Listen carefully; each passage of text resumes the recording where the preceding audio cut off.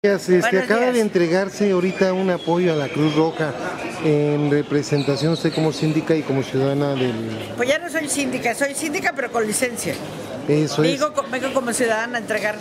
Siempre he aportado una aportación, siempre he aportado y aquí estoy nuevamente estando como cada año aportando a la Cruz Roja. Este, Pero usted como, apoyo. como síndica dejó mucho trabajo. Ahora y toda la gente que atendía diario, 100 diarios, ¿cómo le hacen ahora?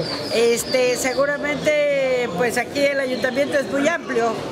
Y el ayuntamiento tendrá aquí, pero sin embargo seguimos este, atendiendo a la gente, no precisamente desde la sindicatura, pero donde estamos hemos estado atendiendo a, a mucha gente. Estaba venía observando ahorita que venía caminando que mucha gente se le acercaba y desconocía o y la hacía abordando como si en funciones. Así es.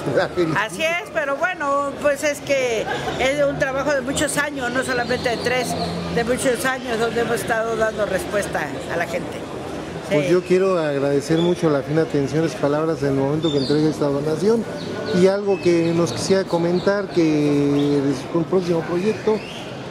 Pues que estamos para servirles, que seguimos trabajando, que una de las místicas es el trabajo de uno que es así. Y bueno, estamos trabajando, esperando, esperando, todavía no hay una, una resolución a qué camino vamos a tomar y qué vamos a hacer. Entonces aquí estamos trabajando.